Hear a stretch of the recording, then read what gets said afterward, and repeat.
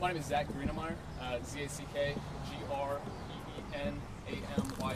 with the law firm Mitchell and Shapiro in Atlanta. I want to start by providing a brief overview of the facts of this case as they are currently known. Then I want to introduce a couple members of the Bolton family and let you know um, what they've been through so far in trying to get answers about what happened on the day their loved one died. Here are the facts as we currently know them. In the early morning hours of December 17th, 2020, a Cobb County Sheriff's Office SWAT team shot and killed Johnny Bolton during uh, the execution of a nighttime no knock search warrant seeking evidence of drugs. In the moments immediately prior to the SWAT team's entry, Bolton was sleeping on a couch in the apartment where he lived, in the living room. According to eyewitnesses in the apartment, Bolton stood up in response to the uh, SWAT team breaking down the door and then was immediately shot multiple times. Bolton was unarmed. Bolton did not take any threatening actions towards any officer. Neighbors in the apartments immediately next to Johnny's uh, heard two loud booms in quick succession. The warrant affidavit, which was created by police officers from the Cobb County Police Department and the Marietta Cobb Smyrna Drug Task Force stated the apartment was used to sell drugs. In fact, for months, the apartment had been used as an informal boarding house with two bedrooms rented out to women and their children.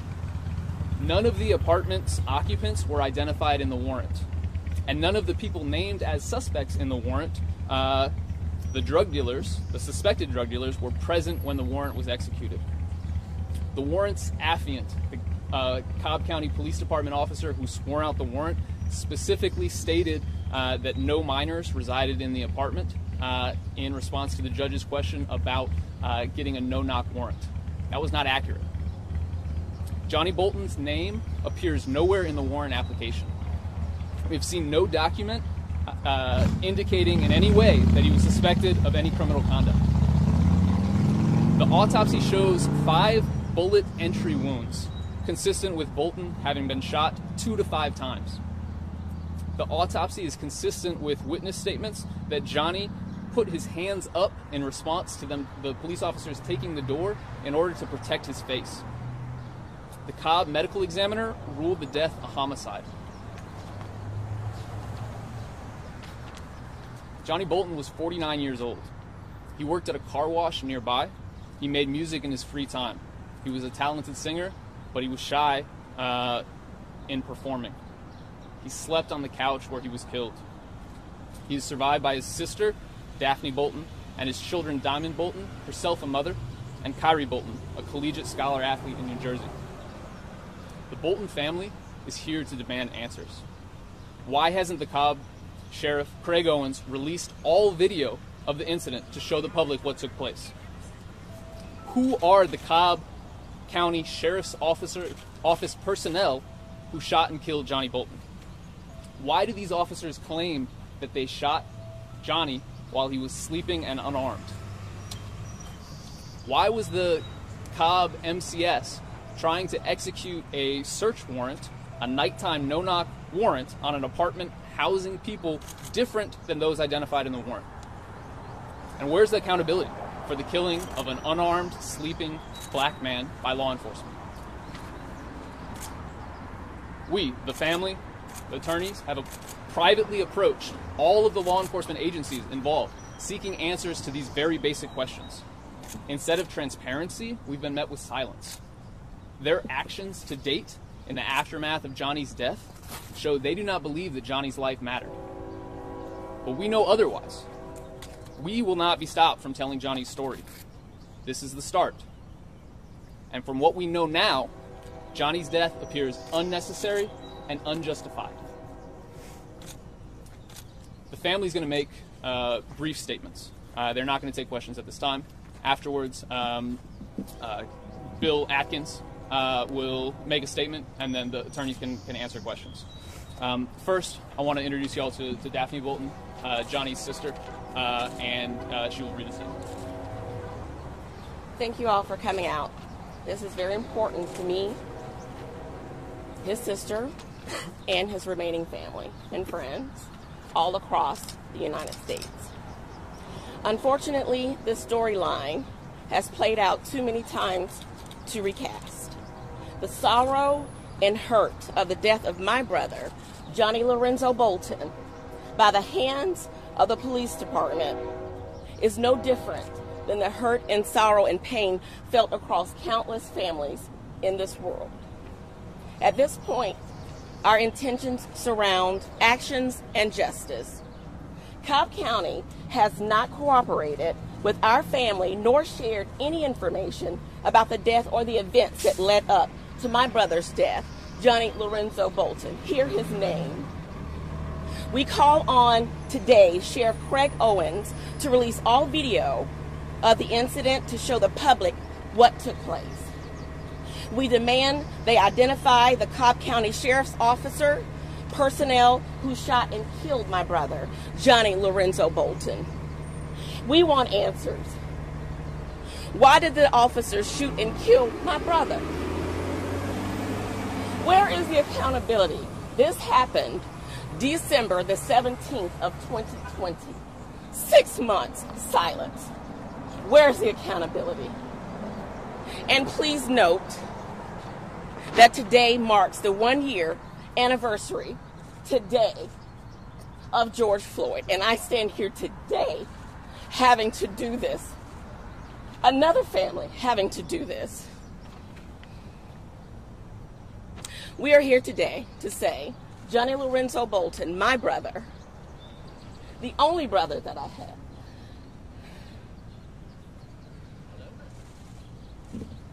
won't be covered up. And we will not be silenced. We will bring to the light of day, and justice will come, and my brother's death will not be in vain. That's all for now. And now I'd like to introduce uh, Johnny's uh, children, Kyrie Turner and Diamond Bolton. Good afternoon. Good afternoon. On December 17, 2020, law enforcement officers shot and killed our father, Johnny Lorenzo Bolton. Since then, we have been looking for answers. We know from the medical examiner that he was shot multiple times, died from being shot from those gunshot wounds, of course. We know from the people that lived with him that he was not armed and was sleeping right before he was shot. We've asked all the law enforcement agencies involved in the warrant for information about what happened, and they've told us almost nothing. We just want answers on how this happened, what led to this. You know, he hasn't met his daughter, my daughter, my child, and they took that away from him because that's what he was going to do. And we just need answers and we want justice. Thank you. Thank you.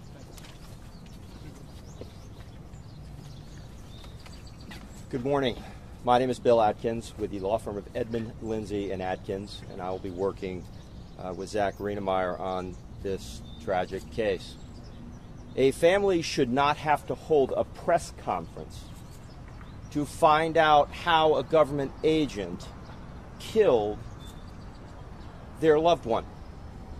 But that apparently is what it takes in this country to get the attention of law enforcement when these sorts of things happen. For nearly six months, this family has calmly, quietly done everything that the law enforcement across the uh, community across this country asked for. Be calm. Wait. We'll get you answers. We will give you what you need. Just be calm. Wait. We'll give you the answers. Well, they don't. They don't. And they haven't. And that's why we end up here. We understand that at this present moment, the DA's office has a job to do, that they are supposed to be reviewing this case. But that does not stop the sheriff's office from speaking to this family. That does not stop the newly elected sheriff who promised to change the way things would be done in Cobb County from being transparent. That's all we've asked for is transparency. Is that too much for any American citizen to ask for when they discover that one of their loved ones has been shot and killed by a police officer? Is transparency too much to ask for? I don't think so. And this family doesn't think so. So today we are here asking for some measure of truth and accountability. We hope we will get some answers. Some answers. And let's be clear delay is not an accident. Let's be clear about that.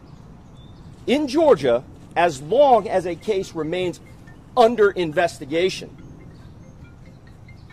this family can't get anything through the Open Records Act. They can't ask for documents because they'll be told the case is under investigation. Never mind the fact that those investigations, time and time and time again, lead to absolutely no accountability for the law enforcement officers involved in a police shooting. But what they do do is delay the opportunity for a family who is grieving to understand how we got here. The delay is not an accident, but it's time for it to stop. It starts here, and we will not be silent any longer. We will not play their game any longer. That's all I have. If anybody has any questions, we'll be happy to answer them. Are you asking for the public release of body camera video? Are you simply demanding a meeting with Sheriff Owens and have him explain what happened and perhaps just show you all the body camera video? We're asking Sheriff. Step, You'll come up to the mic. We're asking Sheriff Owen to release any video associated with this warrant execution, and we're asking the sheriff to sit down and speak with us, speak with the family, face to face, to tell them what happened, tell them who, which one of his people uh, shot and killed Johnny Bolton in his sleep. So you're telling us this family has never met with anybody with this department? We have reached out repeatedly to uh, officers with the Cobb County Sheriff's Office, with the Cobb MCS, with the Cobb uh, Police Department, uh, repeatedly, uh, politely, to, to speak with them. And we have been repeatedly rejected, uh, at best, most often met with nothing but silence. Clarification on his question. So I, I know you're requesting that meeting and explanation, very simple things. But the video, are you asking to go public or to sit down with the attorneys, the families, and, and start that conversation there? I want to make sure with what we are all writing that we're very clear about that ask. So if I could take that question, the answer is both. I mean, obviously, we want them to sit down with the family. But the fact of the matter is that the public at large has a right to know what happened. What happened? It shouldn't be a secret when a government agent does this. We should know what happened. Not just the family, but the public. Um, I would add, for example, we don't even know if the officer who actually fired those shots, assuming it was just one officer, we don't even know if he's still on the job. We don't know if this sheriff's office even bothered to suspend him pending the investigation. Is that too much to ask? That somebody at least be taken off the streets long enough to find out if the shooting was justified? Is it too much to ask that the family find out who the person is who actually shot and killed their, their, their brother, their son, excuse me, their, their father? We don't think so. So, point of clarification was this his apartment that he was using as a boarding house for women and children? Is that whose apartment was it? He had Johnny lived in the apartment and had been living in the apartment for months. He slept on the couch uh, in the in the front river, in the living room. But it was not his apartment. He, he, his name is not on the lease. So were those listed in the warrant people who had rented that apartment or stayed in that apartment, or is there any reason to believe that they had been there? No, the uh, the people who were living in the apartment, uh, their names appear nowhere in the warrant. But were the people who were listed in the warrant, had they been living in that apartment? Uh, one of the people who is listed in the warrant, uh, I believe the apartment uh, was his, uh, but the police knew that he was not at that location because at the same time they executed a warrant at his house where they knew he lived. Were there any children in the apartment at the time? Yes, uh, there was a teenage girl uh, who was in the in a back bedroom uh, as as this happened. Was anyone else in the apartment injured or detained uh, that night? everyone in the apartment was detained. Uh, you know, some of these people were detained for upwards of 12 hours uh, without any charges before being released. So, was anyone charged? Uh, some people have been charged after the fact. And when you say boarding house, uh, were these, is it used kind of like as a halfway house, this apartment, and was this permitted through the state? Do you know that? Uh, this is an informal arrangement uh, where, where people would pay a small, you know, people going through tough times uh, would pay a small amount of money uh, to a friend uh, so that he could, uh, so that they could have a place to, to sleep that wasn't in the street. Has law enforcement given any indication as to why they used a no-knock warrant? I mean, those have come under a lot of scrutiny. Typically, it's supposed to be pretty extreme situations. So. Uh, the indications that we have uh, are the same indications that we get for uh, no-knock warrants that have a lot of scrutiny around them. Right? They're, they're looking for uh, evidence of a, a modest amount of drugs. Um, they're concerned uh, about officer safety. Um, but the you know bigger picture uh, about this and, and why the family is calling for increased scrutiny about no knock warrants is these are incredibly dangerous, not just for the people in the house, but also for, for law enforcement. Um, there, there's no reason that this particular uh, warrant needed to be a no knock warrant, especially when you consider that none of the people they were looking for uh, were in the apartment. Was the warrant that um, was also simultaneously executed at the house where uh, the apartments, uh, that person's name on the apartment, was that also a no-knock warrant? And what ended up happening to that individual when they executed it at that house? Uh, that individual, uh, th- th- that warrant was also executed. Uh, I do, I do, it, they had the authority to execute it as a no-knock warrant. I'm not sure whether it was or not. Um, and that person was arrested and then uh, has has made bail. In my conversation with Sheriff Owens earlier, he mentioned to me he's going to let the DA handle this case. Now, in the previous controversial police shooting that I've covered here in Cobb County, the DA presented this to a grand jury. You hope the same thing happens? Now, that officer here in Cobb County was cleared in the previous shooting that happened in July of last year. Do you hope the DA presents this case to a grand jury? Uh, I suspect that the, the DA will present this case to a grand jury. The better question, the more important question, is whether the DA makes a recommendation to the jury, uh, to the grand jury, that they uh, have an indictment, right? Um, to make that determination, uh, that's in part the DA's call, and in part that relies on information that simply hasn't been shared with the family, hasn't been shared with us, their attorneys. You want the DA to present this with charges because the last case with the Truitt case, he did not present this case with charges. You want an officer held accountable for this death, charged with murder? Well, we'd like to know what happened first. We'd like to know what happened. I mean, what we know now is that there was an unarmed African American man sleeping on a couch in a living room. The door busted open. He stood up, which I think is what most of us would do if somebody knocked down our front door, and he was dead moments later. So, yeah, we'd like to know how that happened. And if that evidence suggests that charges should be brought, then yes, we would expect full accountability, both criminally and civilly. And let me just add to your comment the passing the buck to the DA's office when you have a grieving family by a sheriff is inexcusable. You don't get to just say, well, you know, the DA's office is investigating, so we're not going to talk to you.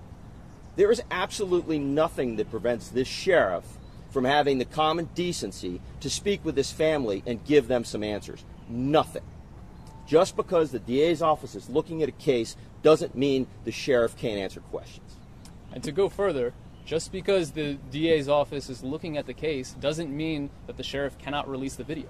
Uh, it doesn't mean that the sheriff cannot uh, make the decision to identify the officer, to describe what uh, investigation his office has done. Uh, regardless of whether uh, the officer or officers who killed Johnny Bolton uh, committed a crime, something obviously went horribly wrong, and nothing has happened about it so far as we know.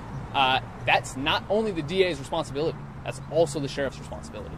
Do you have any idea how many SWAT officers were on the scene or how many officers, period? Uh, I do not know uh, exactly how many officers were involved. Can, can y'all explain um, sort of what the law is around no-knock warrants in Georgia and how it may compare to other states? Or the... Do you want to take it home? Go ahead. Uh, there needs to be specific probable cause for a no-knock warrant to be issued. Just the fact of uh, the fact that a crime has taken place uh, or that drugs may or may not be present in a in a dwelling does not give the right uh, for a no-knock warrant. Uh, police need probable cause to believe that there is a serious risk to officer safety from going in uh, that would not exist if they knocked on the door, and uh, or they need probable cause to believe that evidence could be destroyed um, if they knock and announce. How many people were inside the house? You mentioned the young teenager, Johnny. At least four people were in the house. What's an apartment? In, in, in the apartment, correct. Uh, and three of those people, uh, Johnny and two others, were in the room uh, where Johnny was uh, and were eyewitnesses to what happened. Um, quick question. So you mentioned that some people in the apartment did face charges later. Were those charges related to what was on the warrant, or were there just, what were they arrested for? Uh, I don't have the, the exact answer to that, but it's uh, it's in the record. Just to go back to your question really quick on no-knock warrants, uh, think about the fallacy of those two justifications for a no-knock: uh, danger to police and uh, destruction of evidence. Um, we live in a country with more guns than people. That's the country we live in. Law enforcement uh, should have every expectation, I would guess, that most of the time if they bust in the door, there's a decent chance someone's going to have a gun, right? So if that's the justification, it exists in every case. In every case, right? That potential risk. And number two, are we really going to put law enforcement and innocent people inside a home in a situation where lives are at risk because we're worried about whether someone's going to flush some drugs down the toilet? What's more important to you? Drugs or people's lives? Priorita- prioritization needs to change in the law enforcement community. Lives should come first. Everyone's life should come first. Do you know if it, Going off of this question that you had, can you explain how our rules now in Georgia compare to other states? I mean, is this something that, you know, needs to change? Um, can you talk a little bit about that? Yep. So a number of places around the country have recently come to this recognition, right? That no-knock warrants are dangerous for law enforcement, and if the no-knock warrant is justified on the basis of drugs being flushed down the toilet, it's necessarily a small amount of drugs uh, that isn't worth anybody's life, right?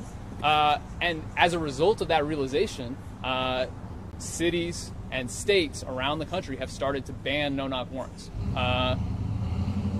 Cobb County should do the same. The state of Georgia should do the same uh, to value life. Uh, no knock warrants should be severely restricted, if not eliminated. You know what kind of drugs that they were looking for inside this apartment?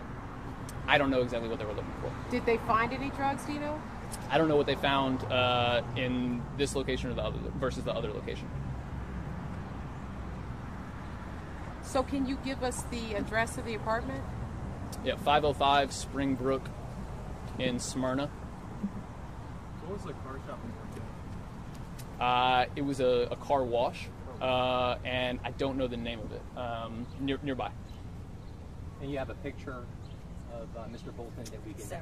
Yeah, yeah, yeah. We have, we have plenty of photos. Um, if y'all shoot me a, an email, uh, I'll send them to, to anybody who wants them.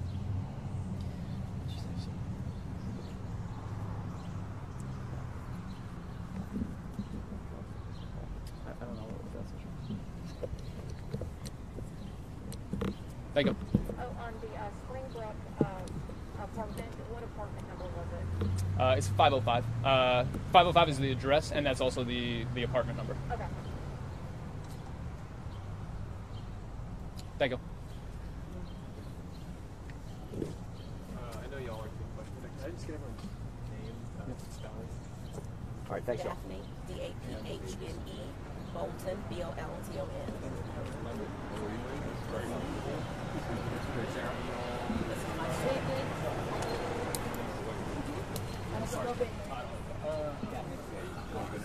we're supposed to get an offset, right? D A P H N E, Bolton, B O L T O N. My name is Diamond Bolton. Diamond. Diamond like a ring. D I A M O N D. And Bolton. B-O-L-T. Kyrie Turner. Kyrie, K Y R I E. Turner. A M is in Mary. And how old is um, he? Diamond's 24, and how old is Kyrie? Both of you are 24. Okay, thank you.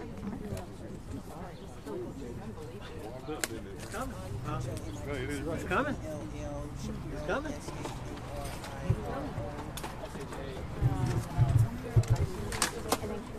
Your brother. Okay.